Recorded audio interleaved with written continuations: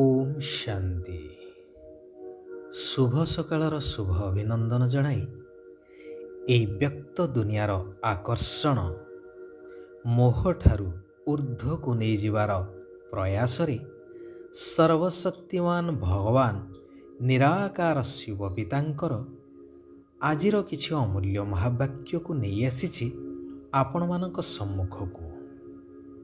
ଅବ୍ୟକ୍ତ ଦୁନିଆର ମାଲିକ ନିରାକାର ପରମାତ୍ମା ଅବ୍ୟକ୍ତ ବ୍ରହ୍ମା ବାବାଙ୍କ ସହିତ ଏହି ବ୍ୟକ୍ତ ଦୁନିଆକୁ ଆସିଛନ୍ତି ନିଜର ସୋମାନଧାରୀ ଶ୍ରେଷ୍ଠ ସନ୍ତାନମାନଙ୍କ ସହିତ ମିଶିବା ପାଇଁ କାରଣ ଏହି ସ୍ୱଳ୍ପ ସମୟ ସୀମାର ଯୁଗ କଲ୍ୟାଣକାରୀ ପୁରୁଷୋତ୍ତମ ସଙ୍ଗମ ଯୁଗରେ ସୋମାନଧାରୀ ସନ୍ତାନମାନଙ୍କର ବହୁକାଳ ପାଇଁ ଅର୍ଥାତ୍ ସାରା କଳ୍ପରେ ଚାରି ଯୁଗରେ ସମ୍ମାନ ପ୍ରାପ୍ତ ହୋଇଥାଏ।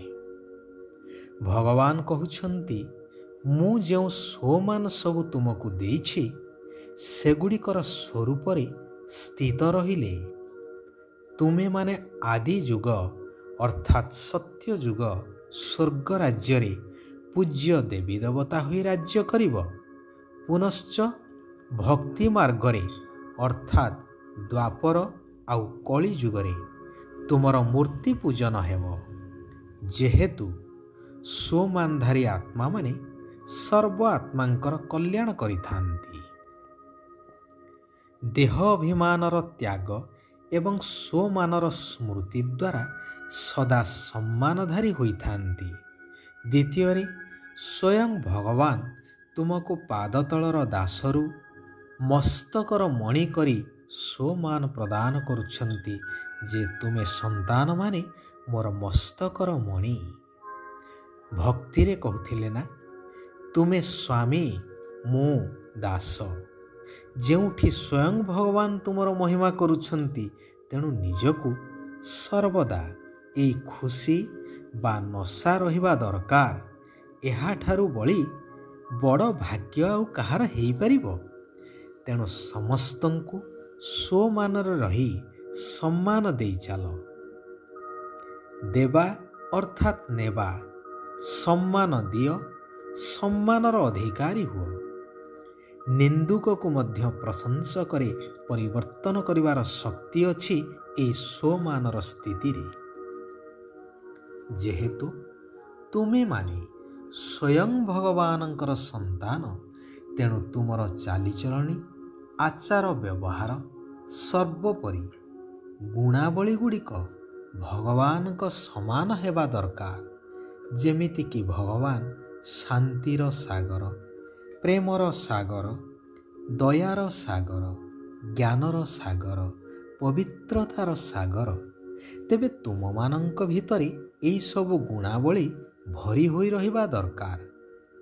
ତେବେ କୁହାଯିବ ଭଗବାନଙ୍କର ନୟନର ତାରା ଅର୍ଥାତ୍ ସୁପୁତ୍ର ନିଜର ରୁହାନୀ ଅର୍ଥାତ୍ ଆତ୍ମିକ ଦୃଷ୍ଟି ଦ୍ୱାରା ସୃଷ୍ଟିକୁ ପରିବର୍ତ୍ତନ କରିବାର କାର୍ଯ୍ୟ କରାଯିବା ଉଚିତ କାରଣ ବର୍ତ୍ତମାନ ସୃଷ୍ଟିରେ ସମସ୍ତଙ୍କର ବୁଦ୍ଧି ଲକ୍ଷ୍ୟହୀନ ହୋଇ ଏଣେ ତେଣେ ଘୁରି ବୁଲୁଛି ଦୁଃଖ ଏବଂ ଅଶାନ୍ତି ସମସ୍ତେ ଏହି ମାୟାଜାଲ ଭିତରେ ଛନ୍ଦି ହୋଇଯାଇଛନ୍ତି। ସମସ୍ତଙ୍କୁ ଭଗବାନଙ୍କର ପରିଚୟ ଦ୍ୱାରା ସାହାରା ଦେଇଦିଅ ଯେପରି ସେମାନେ ଅନୁଭବ କରିବେ ଆମର ତ ଏକ ଈଶ୍ୱର ସଂସାରରେ ବାକି ଆଉ କେହି ନାହାନ୍ତି। ଈଶ୍ୱର ଏକ ହିଁ ଆମର ସଂସାର। କାରଣ ସଙ୍ଗ ଦୋଷ ବହୁତ ହିଁ ଖରାପ। ତେଣୁ ସଙ୍ଗ ଦୋଷରୁ ଦୂରରେ ରହି ସଦା ଭଗବାନଙ୍କର ନିକଟତର ହେବାର ଅନୁଭବର ଭାଗ୍ୟ ପ୍ରାପ୍ତ କର। ତେବେ ସମ୍ମାନର ସହ ଏହି କଠିନ ପରୀକ୍ଷାରେ ଉତ୍ତୀର୍ଣ୍ଣ ହୋଇପାରିବ।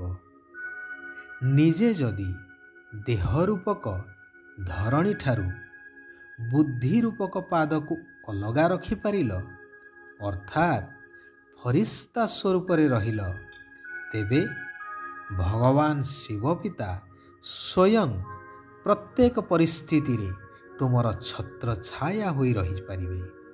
ଅର୍ଥାତ୍ ଛତ୍ର ଛାୟା ସଦୃଶ ହୋଇଯିବେ। ଆଚ୍ଛା ଆଜି ପାଇଁ ଏତିକି। ପୁଣି ଆସନ୍ତାକାଲି ଠିକ୍ ଏହି ସମୟରେ ମୁଁ ଆପଣମାନଙ୍କ ସମ୍ମୁଖକୁ ଆସିବି ସେହି କଲ୍ୟାଣକାରୀ ଶିବ ପିତାଙ୍କର ଆଉ କିଛି ଅମୂଲ୍ୟ ମହାବାକ୍ୟକୁ ନେଇ। ଖୁସିରେ ଶାନ୍ତିରେ ଆନନ୍ଦରେ ପ୍ରେମରେ ହର୍ଷିତ ମୁଖରେ ରୁହନ୍ତୁ ସମସ୍ତେ। ସାରା ବିଶ୍ୱର ଆତ୍ମାମାନଙ୍କର କଲ୍ୟାଣ ହେଉ। ସମସ୍ତେ ସୁଖ ଆଉ ଶାନ୍ତିର ଅନୁଭବ କରନ୍ତୁ। ଓମ୍ ଶାନ୍ତି। ଓମ୍ ଶାନ୍ତି। ଓମ୍ ଶାନ୍ତି।